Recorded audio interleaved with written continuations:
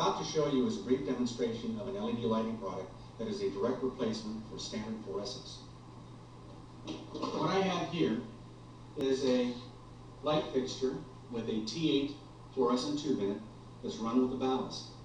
Next to it is an LED light that is line voltage. It, it does not require a ballast, but it gives out a similar amount of luminance quality.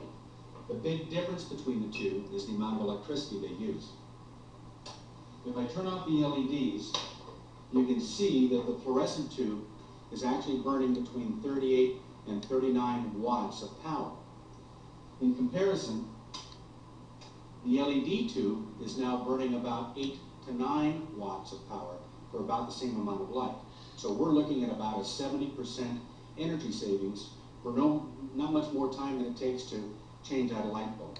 So if schools and hospitals and government buildings are really interested in saving energy and making a difference, this is the simplest and fastest way of making that happen.